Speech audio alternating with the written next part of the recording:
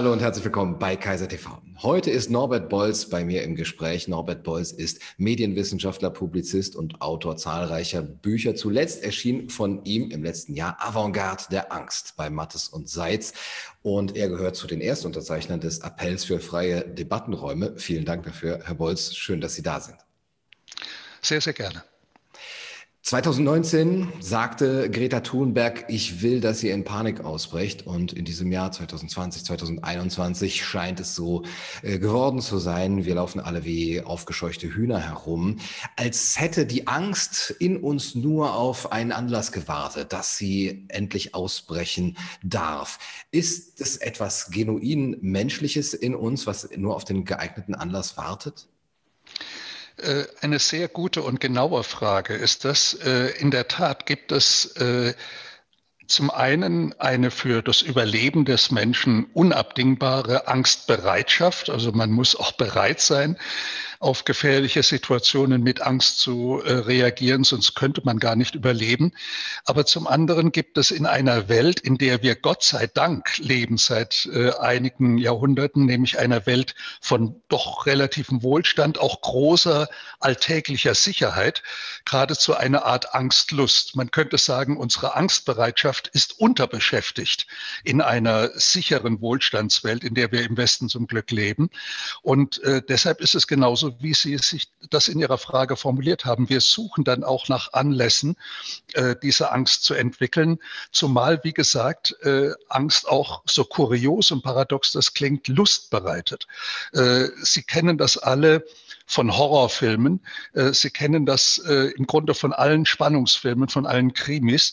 Äh, man lässt sich gerne selbst in Situationen virtuell versetzen, die Angst erzeugen, um dann erleichtert aufzuatmen, dass man unbetroffen ist von dem, was da scheinbar droht. Und so ist es ja im Grunde auch bei den großen Ängsten unserer Zeit. Ich will nicht gleich wieder auf Corona zu sprechen kommen, denn das betrifft uns tatsächlich ja in gewisser Weise alle. Aber im Wesentlichen sind wir auch Angststellvertreter geworden. Wir ängstigen uns für andere, so wie, wie wir betroffen sind über die Betroffenheit anderer in fernen Ländern, in fernen äh, Weltteilen.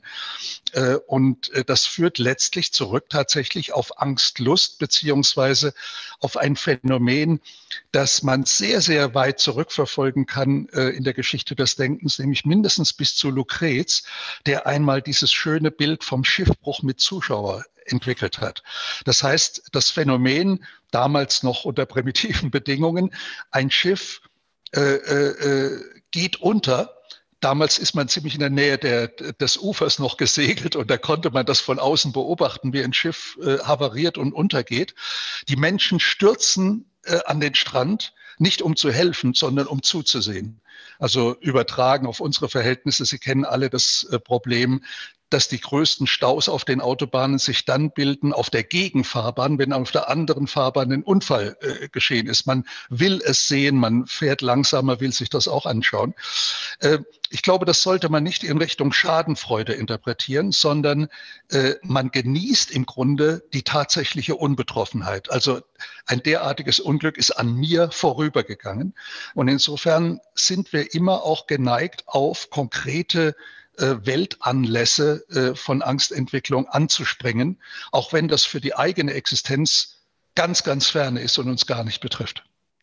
Sie sprechen von Weltanlässen. Das sind also objektive Tatsachen, die geneigt sind, uns äh, Angst einzujagen. Trotzdem gibt es da ja aber auch immer die subjektive Komponente, dass diese Weltanlässe ausgewählt werden, dass sie vielleicht auch äh, aufgeputscht werden und äh, dass sie eben noch viel mehr zu einem Anlass gemacht werden, als es eigentlich ähm, rational wäre. Wie ist für Sie das Verhältnis, wenn Sie gerade auch so die, die Weltanlässe der Angst der letzten fünf, sechs Jahre betrachten, das Verhältnis zwischen objektiver Seite und subjektiver? Man kann diese Frage äh, zunächst einmal nur subjektiv beantworten, indem ich von mir aus sagen würde, die meisten Angstanlässe sind imaginär. Also wir springen auf äh, äh, Angstszenarien an, äh, die von interessierter Seite auch gerne ein bisschen entwickelt und hochgeputscht werden, äh, weil da Leute auch mit der Angst, die wir alle dann haben, sehr gutes Geld machen können. Also es gibt mittlerweile auch eine große Angstindustrie. Leute, die davon leben, dass sie anderen Leuten Angst einjagen und ihnen dann bestimmte Sicherheitskonzepte verkaufen können oder ähnliches äh, mehr. Das ist ein riesengroßer Bereich. Und äh, gerade wenn Sie an äh, die äh, Angst vor der Klimaapokalypse denken, die meines Erachtens schon zum größten Teil der imaginäre Angst ist, nicht weil es keinen Klimawandel gäbe, das bezweifelt ja gar niemand, sondern weil die Szenarien, die man darum herum aufbaut, äh, wohl doch sehr irreal sind. Aber damit lässt, können viele Leute ausgezeichnet leben. Also einerseits sind wir bereit, diese Szenarien gewissermaßen zu gutieren. Äh, auf der anderen Seite gibt es Leute, die davon hervorragend leben, und zwar nicht nur in den Medien, äh, die das gerne dann inszenieren, sondern vor allen Dingen auch in der Politik. Also es gibt sehr, sehr viele Politiker und Politiken, äh, die im Grunde äh, Angst schüren, um dann aufzutreten als Retter in der Not. Aber selbstverständlich gibt es auch reale Anlässe für Angst. Es gibt reale Gefahren, die man schlecht wegleugnen kann, auch in unserer wunderbar technisierten Wissenschaftswelt. Und die muss, müssen natürlich ernst genommen werden. Nur, äh, dahinter steht immer das, die gleiche Frage und die finde ich besonders spannend, nämlich was ist eine wirkliche Gefahr und was ist nur ein Risiko, mit dem wir umgehen lernen müssen, um überhaupt modern leben zu können. Und äh, das ist eben eine Frage, die äh, die Gesellschaft spaltet. Äh, für diejenigen, die wenn Sie so wollen, initiativ sind, unternehmerisch sind, ja, die bereit sind, ein Risiko einzugehen, ist all das, was die dann tun, für die anderen eine Gefahr oder sie empfinden das als Gefahr. Also ein und derselbe Sachverhalt erscheint den einen als Risiko, das man eingeht, und den anderen als Gefahr, die unerträglich ist. Denken Sie nur an ganz simple Beispiele wie das Überholverhalten eines Autofahrers auf einer Landstraße. Ja, wenn Sie hinter einem Laster sind, äh, dann kann dieser Weg unendlich lange dauern und irgendwann werden Sie, es sei denn, Sie sind sehr ängstlich, sagen, den überhole ich jetzt. Ja, und ich weiß zwar, dass da kleine Gefahren lauern, vielleicht kommt mir dann gerade einer entgegen, aber das riskiere ich jetzt. Ich riskiere das. Für den Autofahrer, der mir dann vielleicht tatsächlich entgegenkommt, ist das aber kein Risiko, sondern eine unerträgliche Gefahr. Und das ist ein sehr simples Beispiel, aber solche Situationen und solche Probleme stellen sich alltäglich unendlich oft, wo die einen etwas tun, äh, was den anderen dann nicht als Risiko, sondern als Gefahr äh, erscheint. Und unsere Gesellschaft ist eben überwiegend auf Sicherheit gepolt. Also gerade nicht Risk-Taker werden gefördert, äh, obwohl das wahrscheinlich für die Entwicklung unserer Gesellschaft sehr, sehr gefährlich ist, wenn nur noch Angsthasen herumlaufen. Äh, aber es ist ganz klar, dass die Sicherheit äh, im Vordergrund steht. Und mittlerweile haben sich auch viele Wissenschaftler da schon einspannen lassen in diesen, in diesen, äh, in diesen Prozess, indem sie etwa dieses berühmte Precautionary Principle entwickelt haben. Das klingt komplizierter als es ist, aber das sagt, von politischer Seite im Wesentlichen, aber auch von wissenschaftlicher Seite von vielen Stimmen, wenn du etwas Neues entwickelst, eine Innovation, eine technische Innovation, irgendeine neue eine neue Praxis entwickeln möchtest, dann musst du vorher beweisen, dass es keine negativen äh, Nebenfolgen hat was, wenn man das nüchtern betrachtet, völlig unmöglich ist. Das heißt eigentlich, wenn man das ernst nimmt, müsste man sagen, äh, es gibt gar keine Möglichkeit, äh, noch Neues in die Welt zu bringen, äh, weil wir eben nie hundertprozentig sicher sein können, dass es keine üblen Nebenwirkungen äh, hat denken Sie auch jetzt ganz aktuell an die Impfstoffe. Nicht auch da könnte man jederzeit sagen, ha, äh, vielleicht gibt's aber doch Nebenwirkungen. Ich habe gehört, einige haben ganz schlecht reagiert auf diese Impfung, äh, sind vielleicht krank geworden, vielleicht sogar schon einige gestorben. Also kann man das den Menschen gar nicht zumuten. Es ist eine Gefahr. Andere würden dann sagen, halt. Das ist ein einfaches Risikokalkül. Du musst dir überlegen, welches Risiko ist denn größer, dass du an äh, äh, Corona erkrankst im Alltag äh, oder dass du dieses vielleicht viel kleinere Risiko der Impfung aufnimmst. Also das sind Dinge, die immer äh, in, auch in Alltagssituationen unser Leben aufspalten in diejenigen, die risikobereit sind und diejenigen, die, für die jedes Risiko schon eine unerträgliche Gefährdung darstellt. Aber es ist ja erstaunlich, dass auch bei dem Precautionary Principle so etwas wie ein Doppelstandard zu existieren scheint. Gerade dort, wo es jetzt um die Impfung gibt, spielt es gar, äh, geht, geht, spielt es gar mhm. keine Rolle mehr. Da macht man einfach mal, ohne jetzt äh, eben Langzeitstudien abgewartet zu haben. Aber äh, bei der Begründung des Corona-Narrativs hieß es better safe than sorry. Lasst uns mal unsere Gesellschaften einschließen. Sie sprechen von der Angstindustrie. Ähm, ich würde da gerne noch ein bisschen genauer nachfragen, weil Sie gesagt haben, diese Angst wird auch eingejagt, weil es dort interessierte äh, Agenten gibt, denen das eben, die davon profitieren.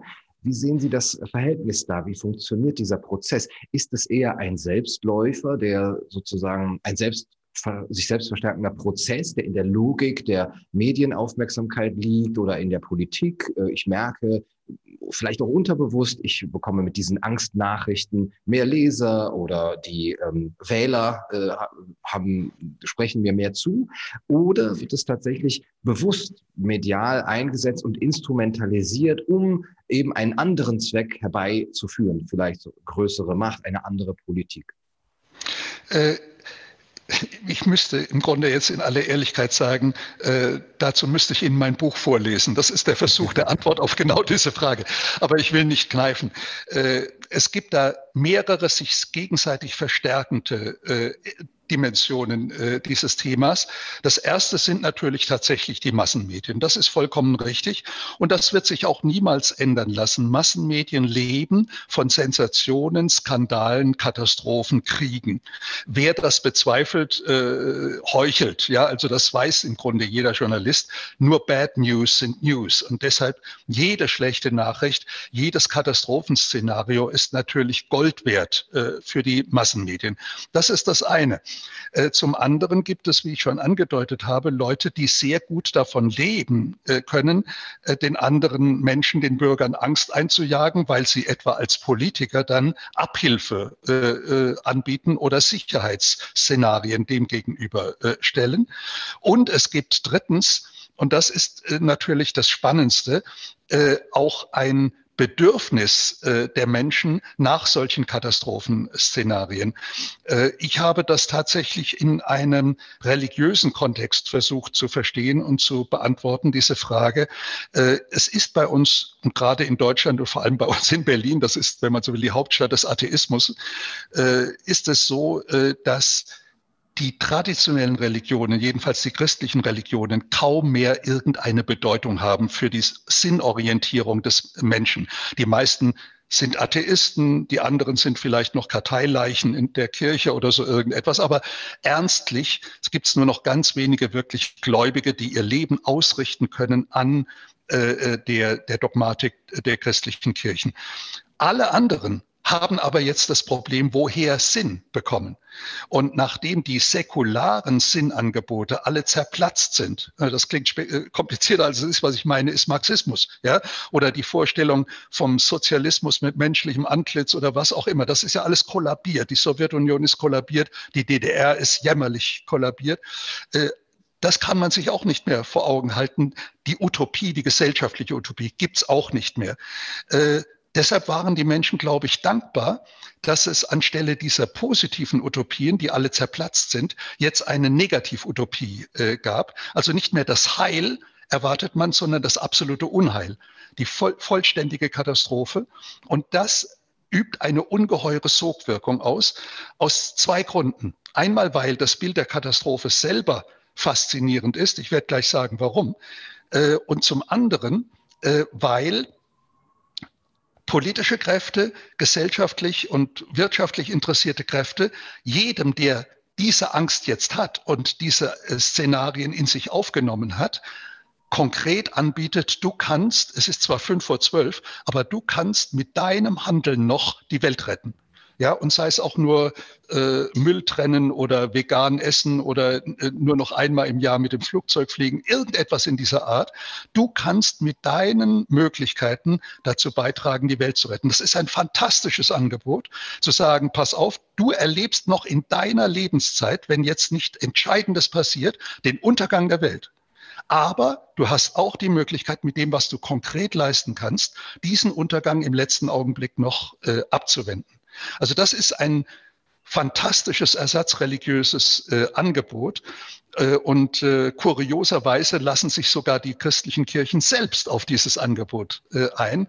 Und es gibt mittlerweile äh, zwischen den Umweltbewegungen und den beiden christlichen Kirchen in Deutschland kaum mehr eine Differenz. Ja, sie haben beide die gleiche Botschaft und äh, schwimmen auch auf den gleichen Schiffen buchstäblich im Mittelmeer herum, äh, um Menschen zu retten oder um äh, die Klimakatastrophe anzuprangern. Also das ist ein faszinierendes Syndrom, das sich da bildet, äh, dass man nämlich den Menschen mit all diesen Schreckensszenarien tatsächlich auch ein Sinnangebot unterbreitet. Sie können jetzt ihr Leben wieder in die Hand nehmen und etwas sinnvoll Konkretes tun. Sie sprechen den christlichen Glauben an, den Atheismus. Sören Kierkegaard hat äh, die Angst in, in seinen Schriften ja immer wieder beschrieben und analysiert. Aber er hat auch etwas Positives an der Angst ähm, in diesem Glauben festgestellt. Angst, äh, in der Angst ist die Möglichkeit der Freiheit ähm, und man kann auch lernen, sich zu ängstigen. Und äh, ist das etwas, was wir heute lernen sollten, uns besser zu ängstigen? Das ist auch eine sehr schöne Formulierung. Äh, ich selber bin auch ein äh, großer Anhänger dieser, des Begriffs Angst von Kierkegaard und äh, die bedeutendsten philosophischen Überlegungen des 20. Jahrhunderts bei Heidegger gehen auch ganz zurück auf diese Vorstellung der welterschließenden Kraft der Angst. Mhm. Aber das ist eine Angst, die sehr viel radikaler ansetzt. Wenn Sie so wollen, ist das die Angst vor dem Nichts also nicht die Angst äh, davor, dass äh, das Klima um zwei Grad äh, ansteigt mhm. oder die Angst davor, dass Feinstaub in Düsseldorf in der Corneliusstraße ein unerträgliches Ausmaß annimmt, sondern das äh, ist äh, die existenzielle Angst, die mein eigenes Leben, wenn sie oder mein eigenes Sein in Frage stellt und mich vor dieser Hamlet-Frage äh, to be or not to be stellt. Äh, das ist in der Tat eine welterschließende Angst, weil und das hat Heidegger ja sehr schön gezeigt, es mich im Grunde dazu bringt, von der äußersten Angst, also der Todesangst, zurückdenkend oder zurücklaufend alle meine Lebensmöglichkeiten vor mir aufzurollen. Also im Grunde erst in den Besitz meiner Lebensmöglichkeiten zu kommen, indem ich von der äußersten Möglichkeit, nämlich der Möglichkeit des Todes, auf mich selbst zurückkomme und mich selbst reflektiere das ist ein, ein Gedanke, der großartig ist, der, wenn Sie so wollen, der Kerngedanke des Existenzialismus ist, solange die Leute noch bei Trost waren, die das vertreten haben. Und äh, das äh, ist auch unbedingt bewahrenswert. Und ich würde im Übrigen sagen, äh, es ist ein, äh, eine Möglichkeit, die jeder Mensch heute hat, nicht Philosoph zu werden, sondern für sich selber tatsächlich diese Möglichkeiten des Lebens zu eröffnen von der äußersten Möglichkeit des Todes aus. Bei Heidegger, wenn ich das noch sagen darf, ohne äh, Nicht-Philosophie-Interessierte damit auf mich zu langweilen, bei Heidegger gibt es übrigens gleichzeitig, also um 1926, 27 herum, wo er die Sein und Zeit geschrieben hat, äh, eine interessante Bemerkung. Er sagt nämlich, genau die, denselben Effekt können wir durch Langeweile erzeugen. Also auch Langeweile äh, scheinbar das Schlimmste, was es gibt oder das Trübste und Traurigste, was es gibt. Auch diese Langeweile, wenn man sie erträgt, also wenn man nicht vor ihr ausweicht, sondern wenn man sie erträgt, äh, eröffnet mir im Grunde meine eigene Existenz. Also es gibt solche Gefühle, äh, äh, Stimmungen, äh, deprimierender oder ängstigender Art, äh, die tatsächlich welterschließend und existenzerschließend sind. Aber äh, das hat mit diesen wie soll man sagen, Ängsten von der Stange, hätte ich fast gesagt, äh, nichts zu tun. Ja, das sind präfabrizierte Angstszenarien, äh, die, mit denen man Leuten nur Angst einjagen will. Also sie sollen gar nicht sich ängstigen um sich selbst, sondern man will ihnen Angst einjagen und gleichzeitig etwas verkaufen. Eine Politik verkaufen, konkrete äh, äh, Einrichtungsgegenstände der Sicherheit verkaufen, man will ihnen Windräder verkaufen, Solarzellen oder was auch immer. Eine gigantische Sicherheitsindustrie und Umweltindustrie mittlerweile. Und äh, das hat äh, mit diesen existenzialistischen äh, Grundgedanken herzlich wenig zu tun. Die Langeweile fehlt uns und ein kluger Umgang mit der Angst, das ist vielleicht auch der Grund, warum wir dann denjenigen, die uns Angst einjagen und die uns aber auch versprechen, uns vielleicht vor der Angst zu erlösen, je strenger sie sind, äh, ja, so Hardliner wie Söder zum Beispiel, äh, immer mehr hinterherlaufen. Ähm, lassen wir uns da wie Kinder behandeln oder sind wir sogar Kinder, die noch nicht erwachsen mit ihrer Angst umgehen können? Auch diese Frage kann ich im Grunde nur in eine Antwort umkehren. Ich sehe es genauso, wie das in Ihrer Frage impliziert ist. Äh, Alexander Kissler hat ja vor kurzem ein Buch veröffentlicht mit dem Titel Die infantile Gesellschaft. Das trifft schon den Kern. Also dieser Titel trifft schon ein Kernproblem unserer Zeit. Äh, das ist allerdings eine Beobachtung, die schon sehr, sehr alt ist. Äh, Sie können das zurückverfolgen bis zu der wunderbaren Schrift des Psychoanalytikers Eric Erickson äh, über Kindheit äh, wo er nämlich äh, wunderschön zeigt, dass unsere ganze moderne Gesellschaft im Grunde den Prozess des Erwachsenwerdens immer mehr nach hinten verschiebt. Äh, ich, ich gestehe Ihnen ganz offen, wenn ich auf mein eigenes Leben zurückblicke, ich habe das Gefühl, erwachsen geworden bin ich erst, als ich eine Familie gegründet habe. Aber nicht, wie ich eigentlich es hätte erwarten lassen, äh, 20 Jahre vorher oder 15 Jahre vorher. Also, äh, und ich glaube, das geht sehr vielen. Warum ist das so? Warum ist das so? Äh, Wesentlicher Faktor dafür ist natürlich nicht nur das Verwöhntsein all derer, die in der schönen westlichen Wohlstandswelt aufleben, sondern es ist vor allen Dingen auch die unendlich lange Zeit der Ausbildung. Und das war das Hauptargument von Eric Erickson, dass er nämlich sagte, äh, diese äh, Phase des Schullebens äh, der, des Universitätslebens und dann vielleicht des Universitätslebens als Assistent oder was auch immer, verhindert im Grunde jeden Realitätskontakt. Bei immer mehr Menschen, immer mehr Menschen drängen in die höheren Bildungsanstalten und verlieren damit zunehmend die Möglichkeit, überhaupt mit Realität in äh, Kontakt zu kommen. Erickson hat das psychosoziales Moratorium genannt, äh, also ein Außerkraftsetzen des Alltags, wenn man so will äh, aufgrund dieser ide idyllischen, idealen Lebensbedingungen des Auszubildenden oder des Lernenden und Studierenden. Und äh, das hat dann zur Folge, dass einige Leute, was weiß ich, mit 40 äh, plötzlich erst zum ersten Mal erkennen, oh, es gibt kein Stipendium mehr, es gibt keine Gelder vom Staat mehr, jetzt muss ich irgendwas selber tun und in die Wirklichkeit eintreten. Äh, und das, äh, leider Gottes, ist unsere Gesellschaft mittlerweile bereit, denen auch dann noch ein Angebot zu, äh, zu machen, Kind zu bleiben, also infantil zu bleiben, zumindest in der geistigen Beweglichkeit und in der Art und Weise, wie man mit Weltsachverhalten umgeht. Und dazu kommt dann noch, äh, sehr eng korreliert damit, äh, die Neigung des Staates auch schon mittlerweile seit vielen Jahrzehnten zu dem, was man mittlerweile Nudge nennt, also zum Paternalismus.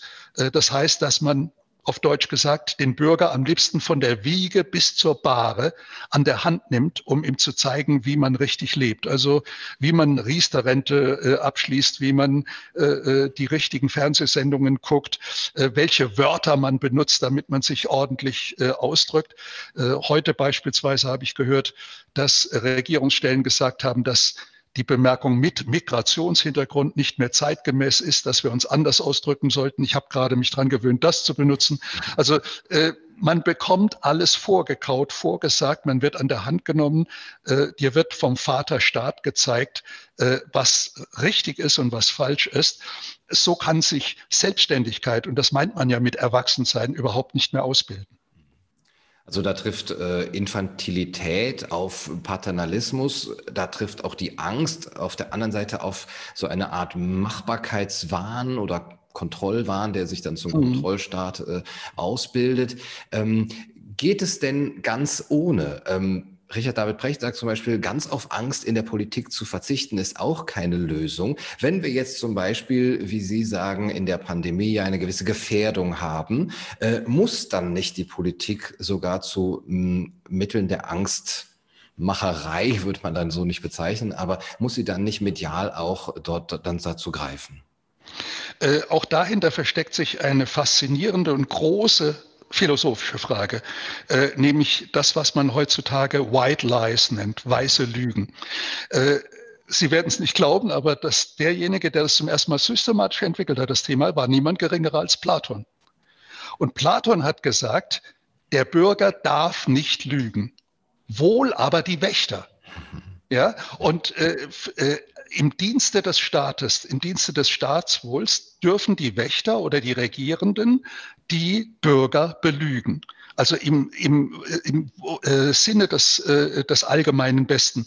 Ich gebe Ihnen aber auch ein aktuelles, nicht mehr sehr aktuelles, aber noch nachvollziehbares Beispiel. An AIDS können sich wahrscheinlich einige Ihrer Zuschauer noch erinnern. Und äh, da gab es einen Artikel im Guardian. Also der Guardian ist ja die süddeutsche Zeitung Englands oder sowas in dieser Art. Und äh, der Guardian-Artikel hatte die Überschrift Government lied and I am glad.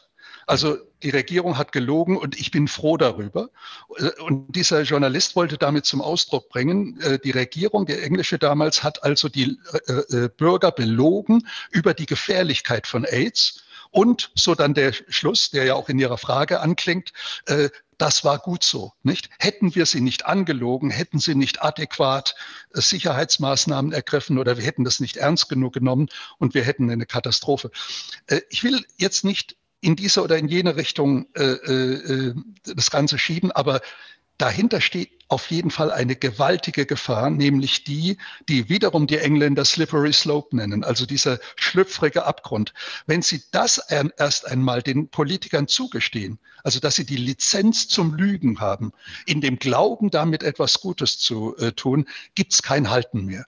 Ja, dann werden wir nur noch manipuliert und äh, dann äh, gibt es auch überhaupt kein Vertrauen mehr in die Mündigkeit des Bürgers.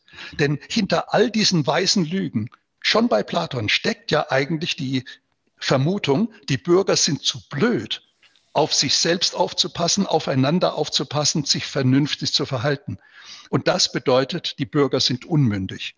Und in all diesen äh, Dingen äh, steckt genau diese Erwartung. Und das äh, sogar Philosophen äh, jetzt offenbar äh, für die Lizenz zur Lüge bei Politikern äh, äh, plädieren.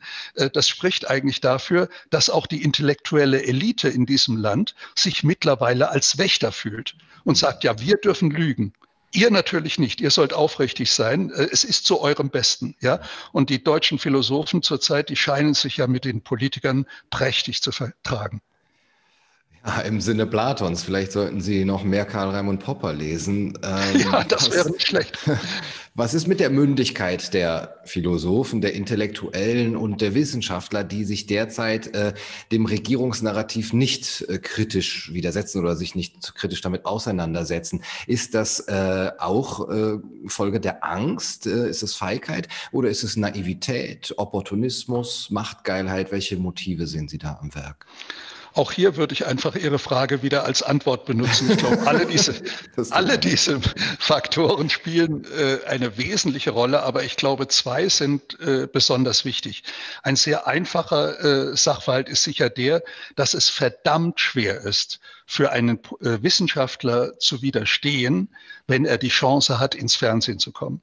Ja, das ist nicht ganz einfach. Mhm.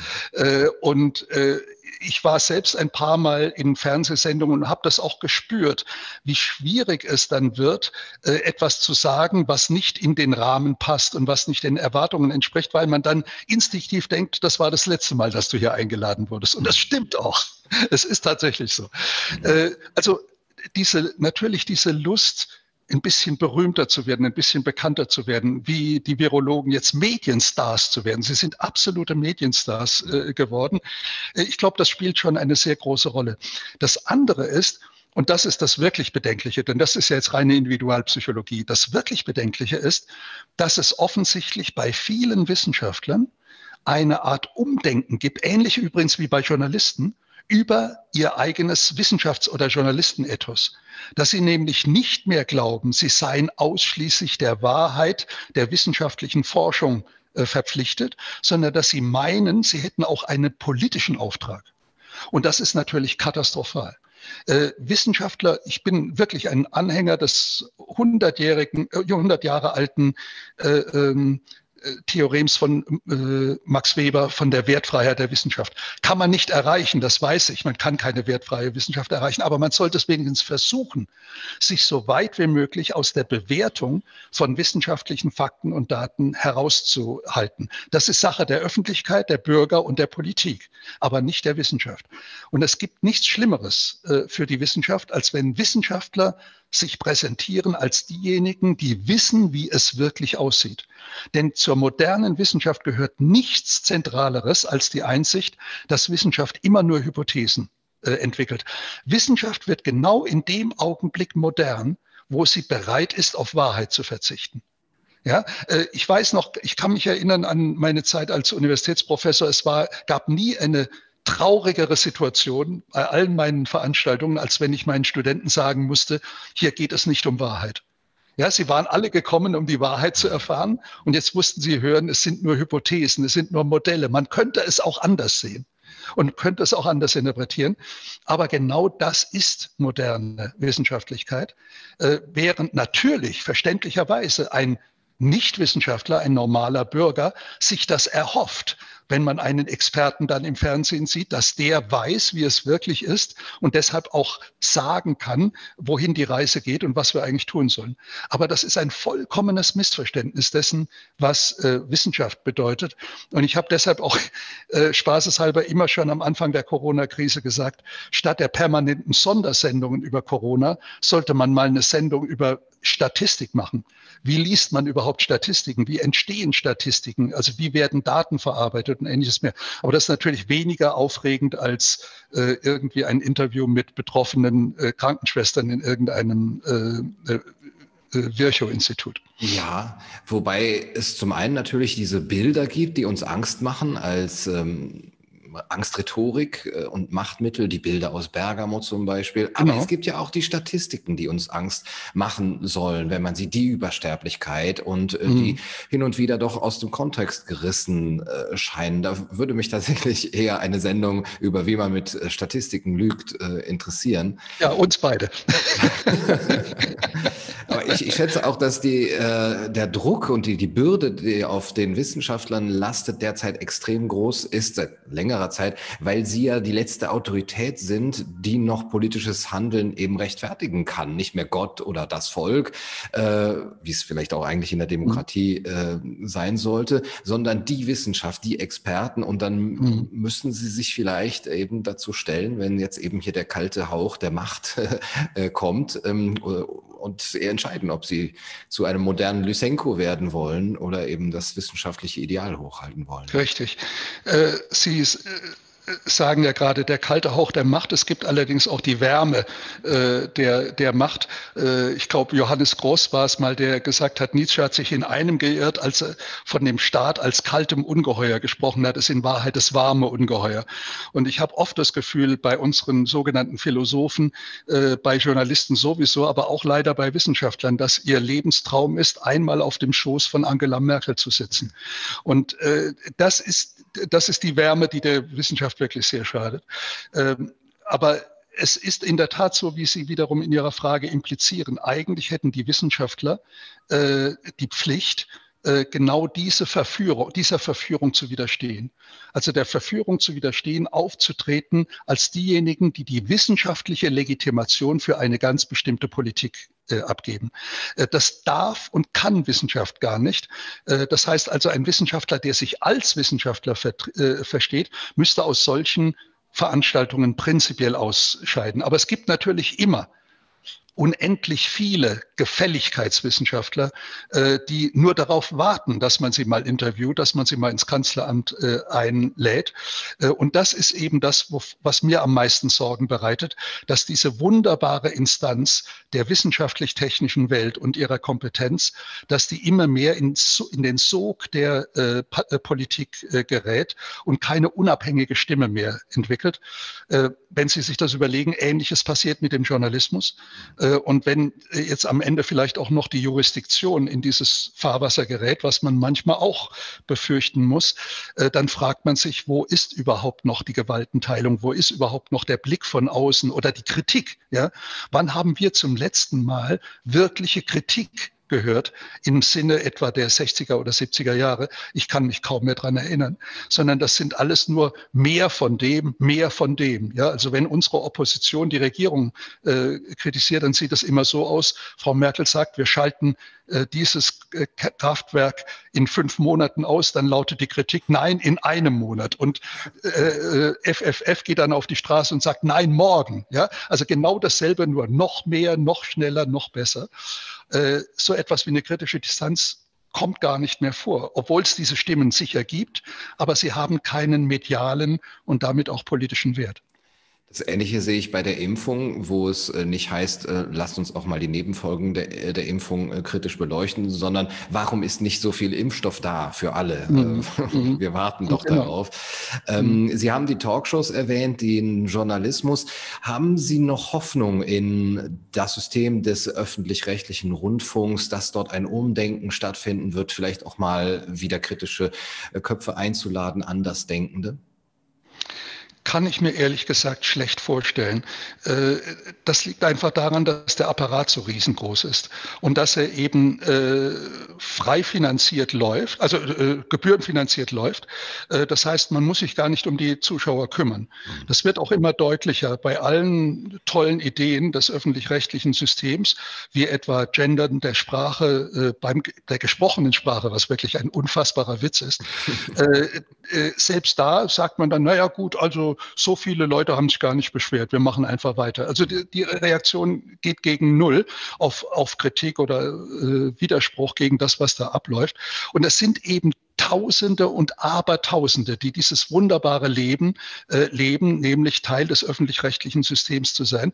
Und die werden natürlich den Teufel tun, irgendetwas an diesem für sie so wunderbar funktionierenden System äh, zu ändern. Und Sie haben ja ges äh, gesehen, dass äh, gleich wiederum ein Weltuntergangsszenario entwickelt wird, wenn nicht sofort die Gebühren wieder erhöht werden. Nicht? Dann äh, ist die Demokratie in Gefahr.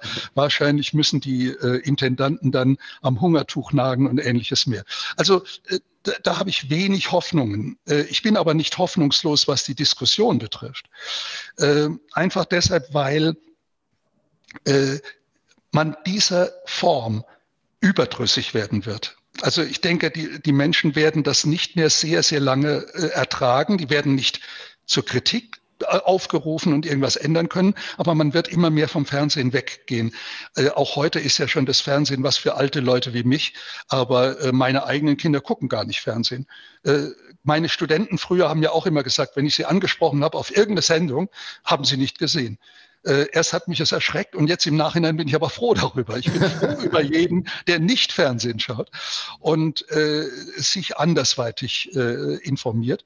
Und äh, in diesen andersweitigen Informationen, in den glücklicherweise existenten anderen Quellen, äh, sehe ich doch die Chance auch für einen ein Gegenpol äh, zu dieser öffentlich-rechtlichen Propaganda. Äh, also insofern bin ich nicht völlig pessimistisch, zumal eben diese Propaganda auch immer irrsinniger wird und damit immer lächerlicher. Und irgendwann wird der Sanktionsmechanismus Lächerlichkeit, der im 18. Jahrhundert so gut funktioniert hat, auch bei uns nochmal wieder funktionieren.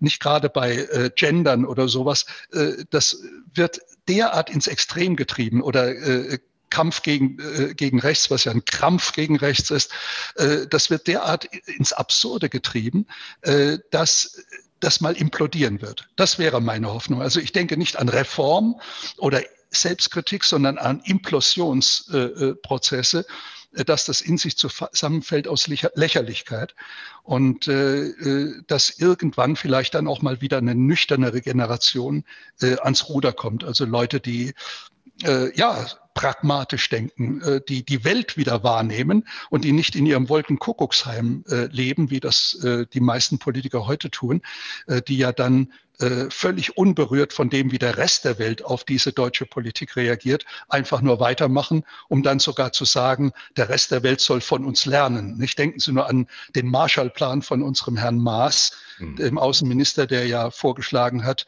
die Amerikaner sollten von den Deutschen wieder Demokratie lernen und er wäre bereit, da mitzuhelfen.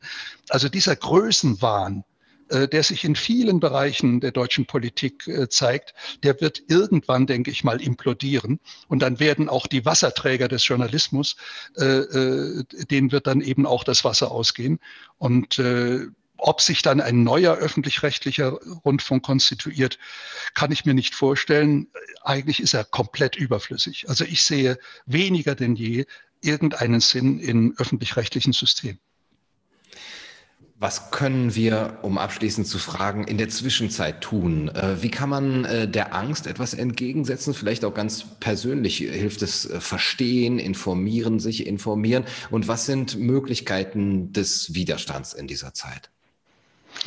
Ja, auch leider eine wichtige und nicht leicht zu beantwortende Frage. Äh, Möglichkeiten des Widerstands auf jeden Fall natürlich intelligenter Art äh, und intellektueller Art, intellektuellen Widerstands. Also wer sich immun machen kann äh, gegen diese Propaganda, über die wir gerade gesprochen haben.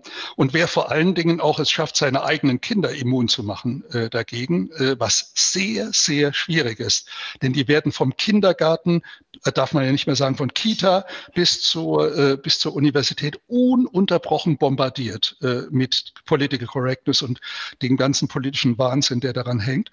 Äh, wer das aber schafft, seine eigenen Kinder, seine eigene Familie erstmal zu immunisieren und äh, der dann sich mal einlässt, wenn das mal irgendwann wieder möglich ist, sich mit seinen Nachbarn zu verständigen über den Gartenzaun hinweg, um dann vielleicht zu merken, dass dort ganz ähnliche mhm. äh, äh, Gedanken äh, ventiliert werden, die sich nur nicht nach außen trauen, dann könnte irgendwann mal wieder die Logik äh, der Schweigespirale äh, tatsächlich aufgebrochen werden, so wie das Nölle Neumann vor Jahrzehnten schon mal gesagt hat die Schweigespirale, die die Mehrheit im Grunde zum Schweigen bringt, weil sie glaubt, sie sei in der Minderheit.